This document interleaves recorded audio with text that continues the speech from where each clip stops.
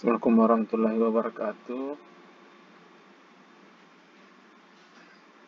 Jadi kalau misalnya uh, mahasiswa buka uh, akun sama OK-nya, jangan langsung klik di sini ya, mata kuliah reguler. Jangan klik, klik sini, tapi klik yang bagian ini supaya langsung terbuka di mata kuliahnya. Nah, seperti ini. Ini bisa langsung terbuka. Tapi kalau misalnya mahasiswa klik di sini akan muncul begini yang error. Ya jadi jangan buka di sini. Buka langsung di mata kuliah ini. Nah di sini langsung bisa masuk.